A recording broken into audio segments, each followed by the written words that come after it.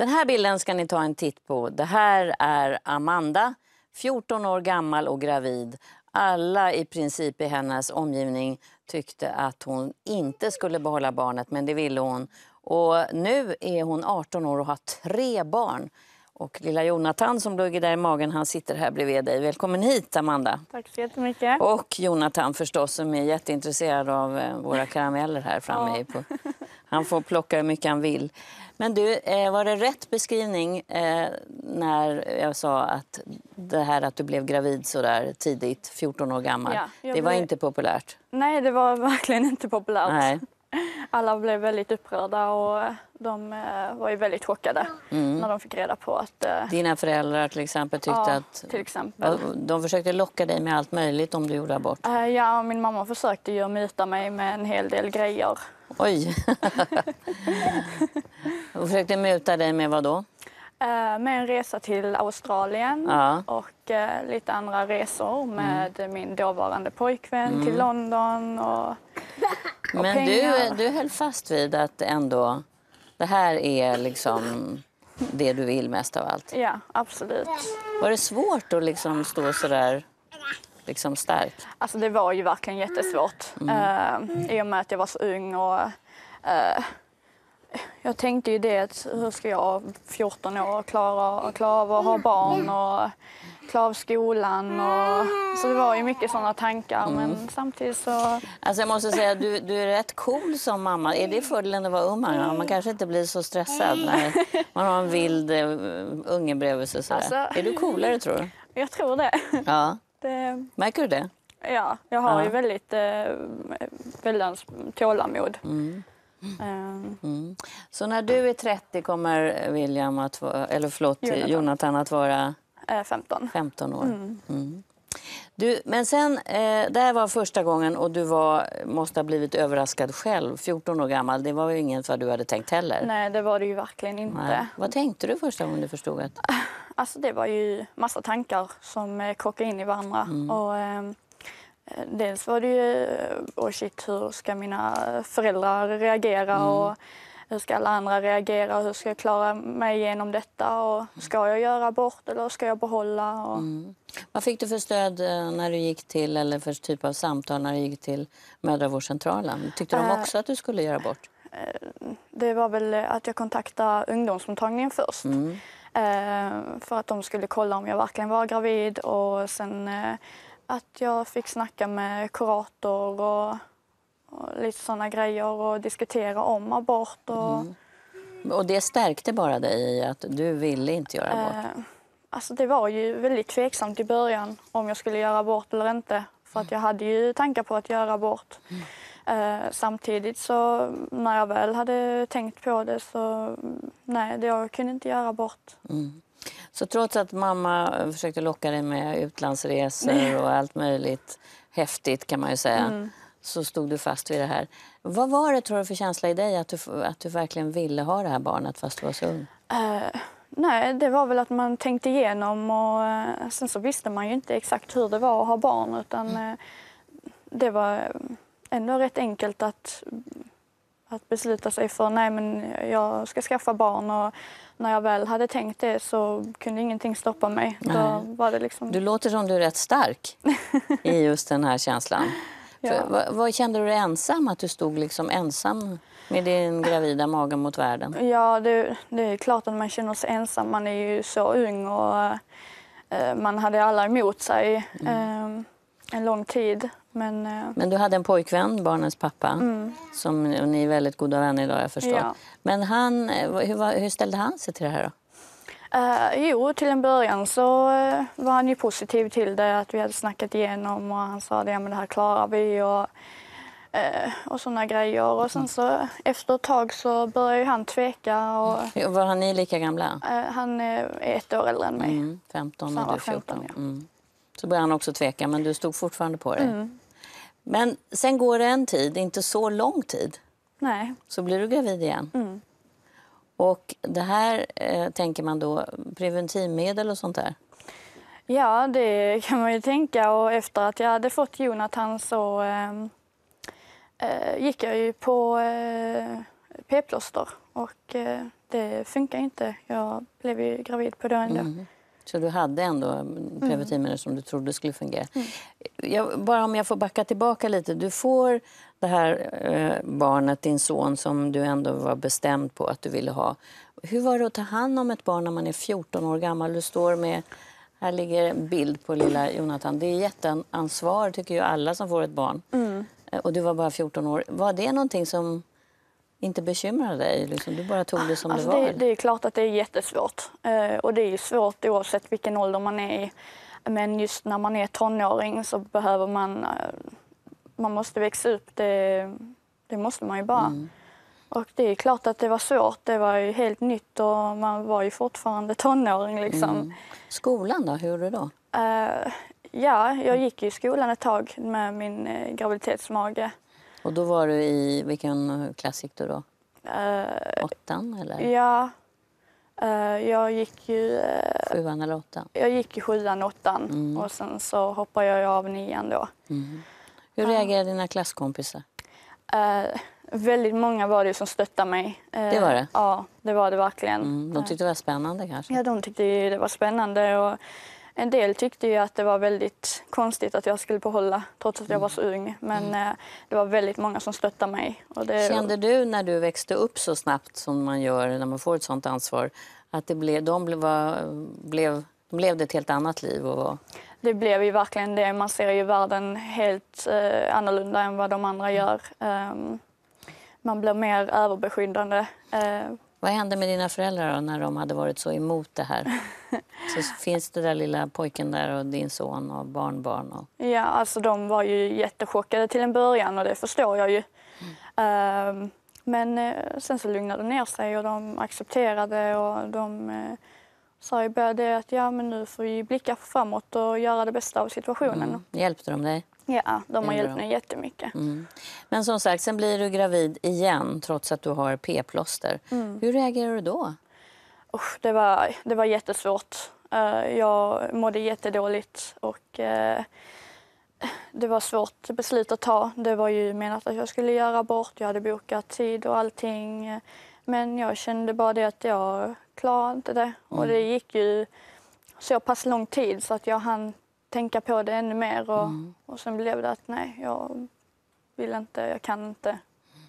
För då hade du redan ett barn så du såg vad det var som låg där inne. Det blev Mm. Ja. kanske mer verkligt. Ja, det blir ju det. Det blir både jobbigt för att man vet hur det är att ha barn och både det ekonomiska och allting liksom.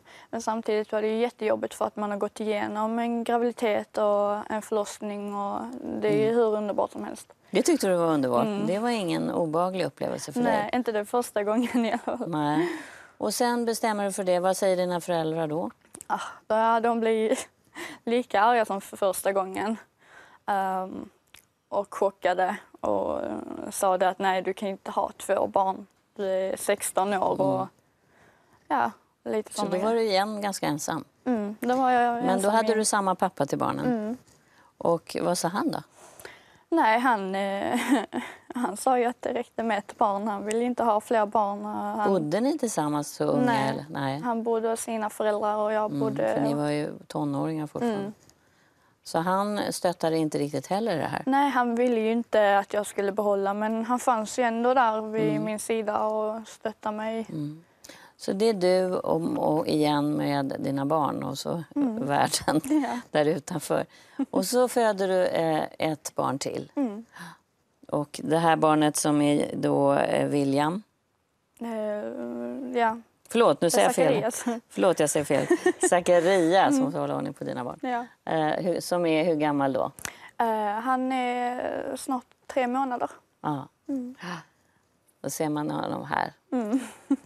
ja, det är ju också så att de här, eh, de här barnen du nu har, Mm. eh, de har du aldrig ångrat kan jag tänka mig. Det gör man ju Nej. aldrig. Nej, man ångrar alla sina barn. Men eh, din situation nu, du är 18 år Mm. och du hoppade av i nian. Mm.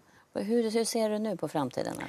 Eh, ja, framtiden för mig ser ljus ut. Jag väntar ju bara, jag går ju hemma och med min lille son och väntar på att han ska börja dagis så att jag kan börja plugga igen.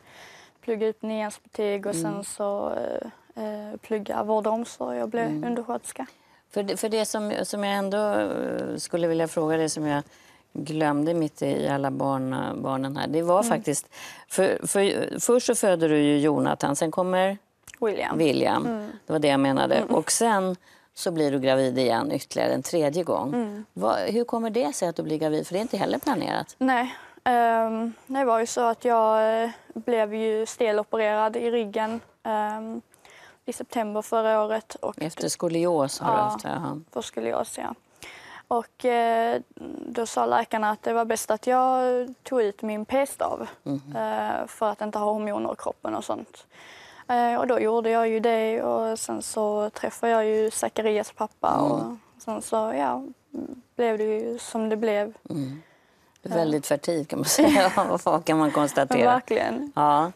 Och så blev det barn igen. Du, nu har du tre barn och du eh, lev, måste ju leva ett helt annorlunda liv än dina kompisar. Mm, oh ja.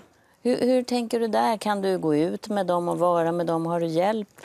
Eh, ja, alltså de flesta av mina kompisar de eh, hjälper mig extremt mycket och de bryr inte sig om jag har barn eller inte för vi kan ändå gå ut och fika eller gå ut och gå och träffas. Och, eh, och sen så är ju de äldsta barnen hos sin pappa varannan helg och mamma offrar sig och tar Zacharias. De kanske till och med tycker det är roligt. ja, det tror jag För ni säkert. bor i samma hus. Mm, det gör vi. Men, men det är ändå så att du måste vara mognare än dina jämnåriga. För du har gått igenom så mycket mer. Ja, alltså det är väl både och. I vissa lägen så känner jag mig inte äldre 13 än 13 och eh, vid andra tillfällen så känner jag mig som 40.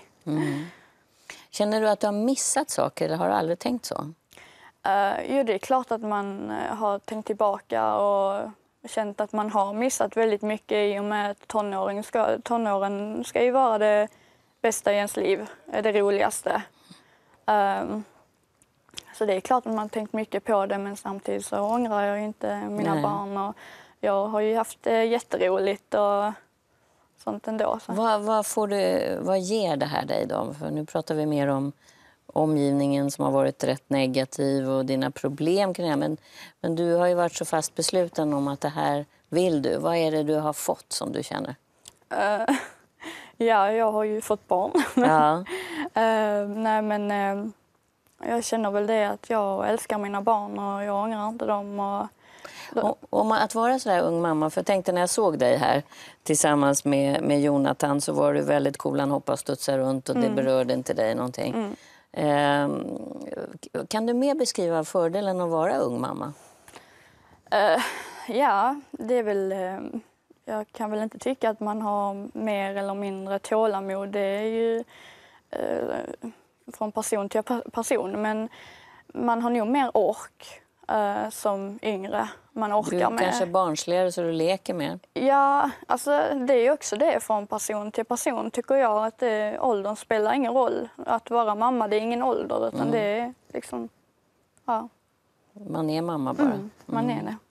Du, du ska nu eh, ta igen först nian, Mm. ska du plugga, och sen så ska du plugga till att bli undersköterska. Det är din plan. Mm. Ja. Tror du att du kommer vara mer motiverad än andra? Du har ju inte så mycket tid. Du måste plugga när Ja. eh, dina barn är på dagis. Ja, men absolut. Det, jag måste ju göra det för att kunna försörja mig och mina barn så, eh, så är det ju bara så. Hur, hur ser din ekon ekonomi ut? Ja, alltså det vill jag ju egentligen inte ta i tv direkt. Men, Nej.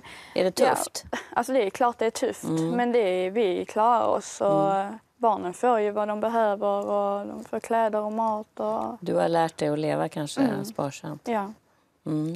Och dina föräldrar nu, som ju du bor i, du bor i samma hus. Mm. Och de verkar ju tycka nu att nu är det så här och det är roligt och de Mm. stöttar dig. Hur, hur ser de på det här med att du nu tar tag i ditt liv och ska börja plugga igen? Eh, de tycker ju det är bra. Mm. Eh, Det var vad de ville från början. Ja, det var det ju. Eh, och de tjatar ju ofta på att ja, vi hoppas nu att det inte händer en gång till Nej. det här för det orkar inte vi. Och, och det, det är klart jag känner med dem att Skulle du kunna tänka dig fler barn i framtiden? så som jag känner nu så nej, det Nej. räcker med tre. Ja. Mm. Hur tänker du annars på... För nu lever du ensam med barnen, även om du har bra kontakt med eh, barnens pappa eh, som har de äldsta i varannan vecka. Hur tänker du så där på att träffa någon och, och i framtiden? Och så? Du kommer alltid komma med dina tre barn. Mm, ja, men det får ju han bara acceptera helt enkelt. För mina barn de kommer ju före allt. Så. kanske redan har träffat någon. Mm. Det har du. Och det blir som att få en hel familj. Mm. Och det verkar ha funkat. Ja, Ja. än så länge så gör det ju det. Vad säger de när du berättar att du har tre barn? Eh, det är blandade reaktioner man får. Kanske tycker, en del blir nog rätt imponerade kan jag tänka. Ja, vissa tycker jag är jättestark och vissa undrar ju vad fan jag har tän- tänkt med. Ja. Ja. Du, jag önskar dig verkligen lycka till med ditt liv. Är, är det här någonting som du... Om någon skulle komma och fråga dig, ung, 14-15 år gammal och så, ska jag behålla mitt barn? Jag vet inte. Vad skulle du säga? Ja, du. Jag vet inte. Det, man får göra som man vill. Hur hittar man svaret? Hur gjorde du? Ja, jag bara körde på mitt egna... Hade du liksom ett resonemang med dig själv helt enkelt? För du hade ju inte så många att prata med. Alltså det, jag hade ju några att prata med, för det är ju mycket internet nu och man Mm. hittar ju alltid några. Så att jag, jag hittade ju en hel del som var sam, satt i Samma samma, situation. Mm, Så de kunde du prata med på nätet? mm, Mm. Och då kände du mer stärkt? ja. För man kan inte hitta så många som är 14 år och är gravida. Det är inte så Alltså, vanligt. Det, det blir ju mer och mer vanligt känner jag. Mm. Eh, Har du eh, kontakt, träffat några av dem i verkligheten? Ja, det har jag. Det har det. Så du har som, det har blivit som ett litet nätverk? Ja. Och det, det är alltid skönt att ha de som eh, sitter i samma situation. Eh, Har de gjort samma resa som du? Att de har känt sig ensamma och... ja, vissa av dem har ju inte tre barn. Nej. Men eh, ja, ungefär samma resa. Mm. Och då har ni gemensamma upplevelser som ni kan snacka om. Mm. Ja, spännande tycker jag att du har gjort det här och lycka till verkligen Ja, med dina barn. Du har en liten hemma som du ska hem till nu Ja, som är bara två månader Ja. gammal. Ja. Ja, lycka till. tack så jättemycket.